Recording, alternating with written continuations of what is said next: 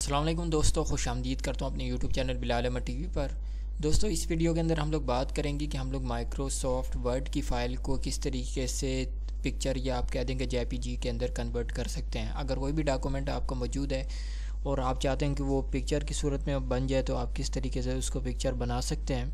तो चलिए शुरू करते हैं अपनी वीडियो को और देखते हैं कि हम लोग कोई भी चीज़ जो कि माइक्रोसॉफ्ट के अंदर मौजूद है, उसको हम लोग किस तरीके से पिक्चर के अंदर कन्वर्ट कर सकते हैं? आप चाहें तो उसको अडो फोटोशॉप के अंदर भी इस्तेमाल कर सकते हैं। तो तमाम देखने वाले दोस्तों से दरख्वास्त करूँगा, चैनल को सब्सक्राइब ज़रूर कर लें और इस वीडियो को लाइक ज़रूर कर दें। तो चलिए शुरू करते हैं वीडियो को। यहाँ से सबसे पहले हम लोग माइक्रोसॉफ्ट वर्ड ले लेते हैं। यहाँ पर हम लोग जस्ट एक काम करते हैं कि कोई भी चीज़ ले लेते हैं। मिसाल के तौर पर यहाँ पर अभी मैं टेक्स्ट टाइप नहीं करूँगा आपके सामने, बल्कि मैं आपको जस्ट करके दिखाऊँगा कि जैसे मिसाल के तौर पर यहाँ पर लैंडस्केप का एक पेज हमारे पास मौजूद है। हम चाहते हैं कि इसको बॉर्डर दे दें। अब बॉर्डर जो है, इसकी कोई भी आप बॉर्डर ले लें। यहाँ पर बहुत सी बॉर्डर्स आपको मिल जाएँगी।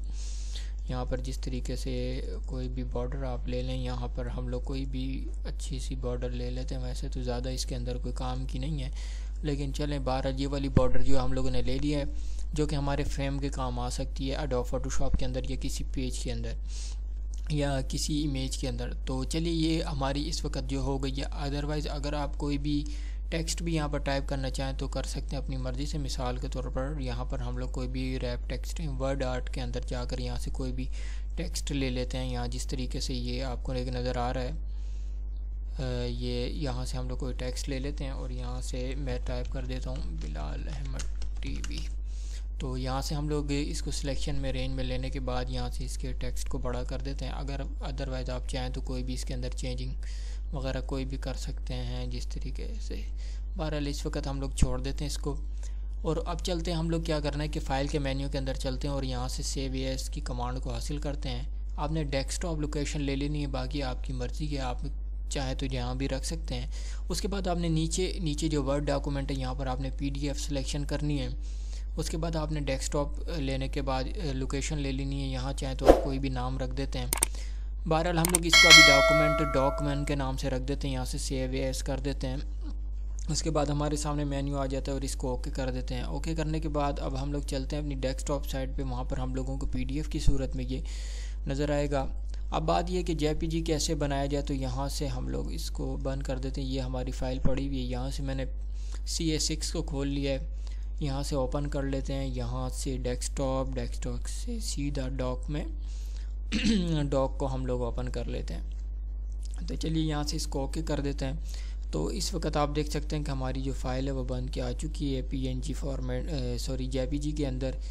आप चाहें तो इसको पीएनजी भी बना सकते हैं। यहाँ से हम लोग न्यू ले लेते हैं पेज और न्यू पेज लेने के बाद इंटरनेशनल पेज पे हम लोग ए फोर ले लेते हैं और उसकी ओरिएंटेशन जो है वो यहाँ से इमेज जो है रोटेशन कर लेते हैं। ठीक है, यहाँ से इसके बाद जो है हम लोग यहाँ से आ जाते हैं इसके अंदर।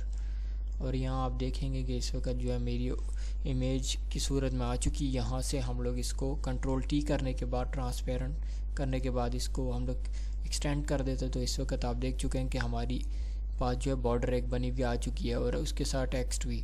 अब बारी है इसको इमेज बनाने की। तो यहाँ से सेव यस या सेव की कमांड को आप हासिल करने के बाद जे पी जी बनने के, करने के बाद यहाँ से आप कोई भी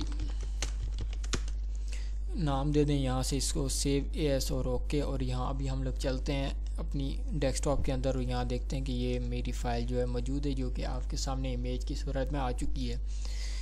तो इस तरीके के तहत क्या कर सकते हैं? आप एक तो बॉर्डर भी हासिल कर सकते हैं अपनी इमेज के लिए, जो भी आप माइक्रोसॉफ्ट वर्ड की बॉर्डर अगर आप बनाना चाहते हैं अपने किसी भी इमेज के अंदर लाना चाहते हैं, उसको बनाकर तो आप इस तरीके से बसानी इसको ला सकते हैं। क्योंकि स्क्रीनशॉट भी अक्सर लिया जाता है, लेकिन स्क्रीनशॉट का प्रिंट जो है वो हमेशा सही नहीं आता। उसकी असल वजह ये होती है कि स्क्रीनशॉट के अंदर हमें पिक्सल सही नहीं मिलता, जिसकी वजह से हमारी इमेज का रिज़ल्ट हमेशा जो है प्रिंटर के अंदर ख़राब आता है। अगर आप हार्ड के अंदर बहुत ज़्यादा काम करेंगे, यानी कि हार्ड के अंदर प्रिंटिंग वगैरह का काम करेंगे तो जिस तरह मैं करता हूँ तो आपको अंदाज़ा हो जाएगा कि क्या स्क्रीनशॉट कैसे है और इसकी रियल इमेज कैसी है। बहरहाल, मिलते हैं नेक्स्ट वीडियो में और तब तक के लिए अल्लाह हाफिज़। लेकिन उससे पहले चैनल को सब्सक्राइब ज़रूर करें और इस वीडियो को लाइक ज़रूर कर लें। तब तक के लिए अल्लाह